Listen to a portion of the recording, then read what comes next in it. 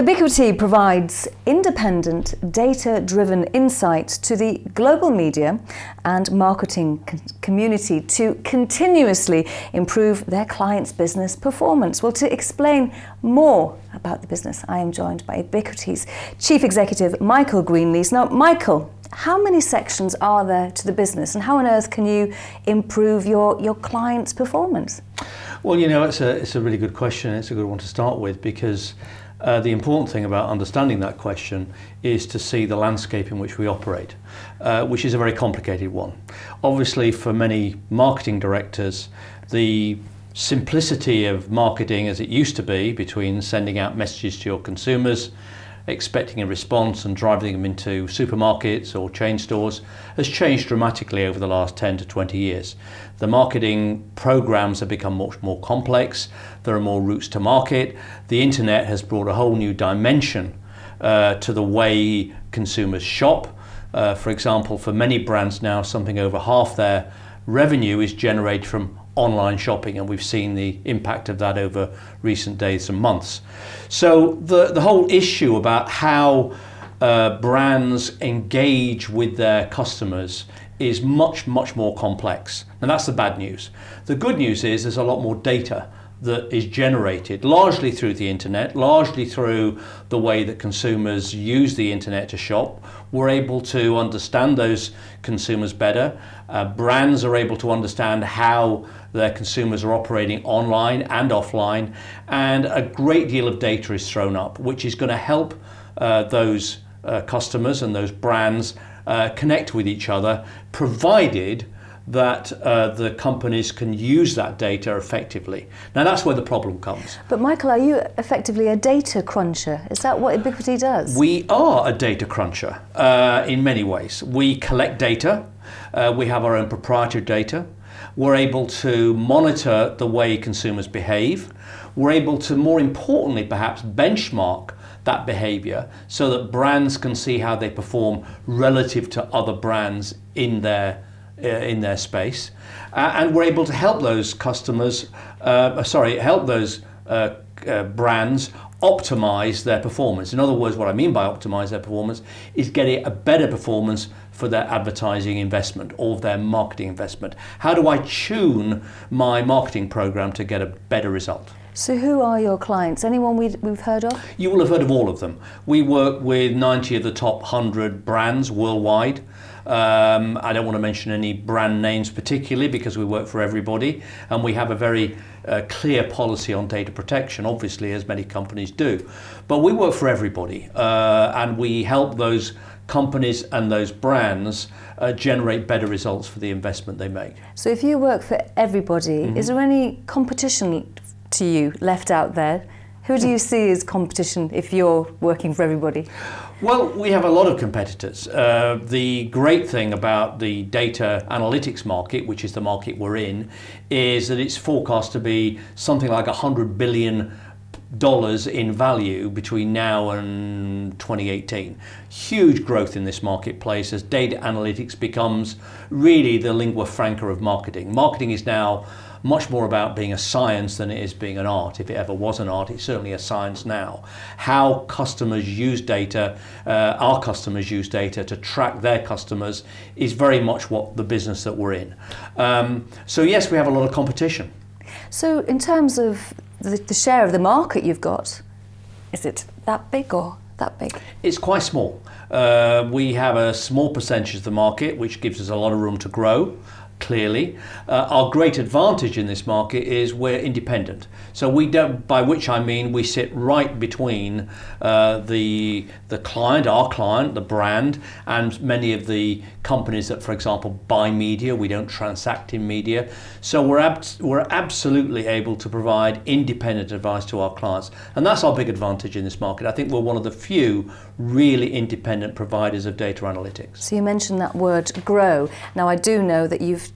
just made an acquisition in China. Is yeah. that a, a, key territory for you or are you settled there now and looking elsewhere? Well, of course, uh, it is a key territory and we follow our clients. Uh, something like 75% of our business now is with global clients. These are clients that are operating in big footprints worldwide. Uh, they want to go where their growth is. And obviously, their growth is increasingly in Asia Pacific, in, in China, in, in Malaysia, in Australasia. These are some of the big growth markets, and we want to be there with our clients. And you're beefing up your management teams in key territories as well, aren't you? Yes, we are. Uh, obviously, the important thing for us is to enable our business to become highly um, uh, highly competitive with other companies in this marketplace, but also to build strong relationships with senior CMOs and the C-suite of our clients generally. So we want to have the best people in our company leading leading our growth. But with global opportunities, there, there comes global challenges, and I'm thinking in particular of um, foreign exchange complications. We've seen recently what's happened to the Russian ruble. Sure, How does that sure. impact you? Well, we have a business in Russia. It's a small part of our business, and it's a little bit less than a rounding error. So we're not really worried about the Russian ruble at this point. Uh, obviously, we've seen the, the dollar bounce back, so we're, we're happy with the direction of travel for the dollar. Euro obviously gives us a little bit of a, a challenge, but that's true of many companies. The important thing is our underlying growth is strong, and we're able to accommodate most of the FX changes that we're seeing in the marketplace so, at the moment. So I have seen a headline figure, which is you've had eight years of growth. Mm-hmm. I'm not sure if that's revenue growth or operational growth, but mm-hmm. is this momentum likely to continue? Yes, I, I, see no reason to believe that it won't. Uh, we're certainly looking at at you know double-digit growth this year. Uh, we are going to have a strong year. We're certainly going to have a strong half year. We're, we're announcing our half year in January, uh, and the size of this market really uh, gives us a lot of optimism for the future. And of course, the general trend now uh, is very much working in our favour in terms of the um, growth of global brands, the availability of data, the challenges that our clients are facing, and the consolidation of media buying, uh, which makes that part of the media mix much more difficult for our clients, and we're able to help in that area too. So, results in January, are investors going to get a surprise in terms of a dividend? Well, uh, the board will be announcing its intention with regard to dividend. I'm very aware we're an outlier in the AIM market as far as dividend is concerned. I anticipate we'll be addressing that and making a, an announcement in January. So I know you met, you bought six, um, you spent six point seven million pounds on this Chinese acquisition. Mm-hmm. Do you have any more cash in the bank to, to allow you know, further acquisitions and to allow growth at the same time? Yes, we do. I mean, we're, we're um, not debt constrained at the moment. We've got reasonable uh, benign cover, so we are able to borrow money from our banks who are very supportive. And of course, we've got access to the equity markets for uh, and a very supportive equity uh, group of investors who uh, understand our story and are very supportive of it. In terms of data crunching, are you increasingly hearing that people are now saying, Twitter me, tweet me, don't email me? Are you finding that more and more people are, are going for brevity? Well, brevity, yes, uh, but you've just put your finger on a very important point, uh, which is the uh, the number of channels that are available now to create brand reputation. Uh, consumers, customers have, have empowered themselves uh, through new media to create messages, to create images, to build, build or destroy brand reputations. And that's a really important issue that our clients have to address every day. And uh, in, in our relationship with our clients, we're able to help them monitor their brand reputation, keep track of how their customers believe and think about their brand, and help them to accommodate those changes as the brand uh, goes through the uh, the life cycle it, it, inevitably will go through. Now, with, within the advertising space, do you anticipate that 2015 is going to be the year of the cloud, or was 2014 the year of the cloud? Well, cloud schmoud, you know. I mean, I think we're talking about data storage.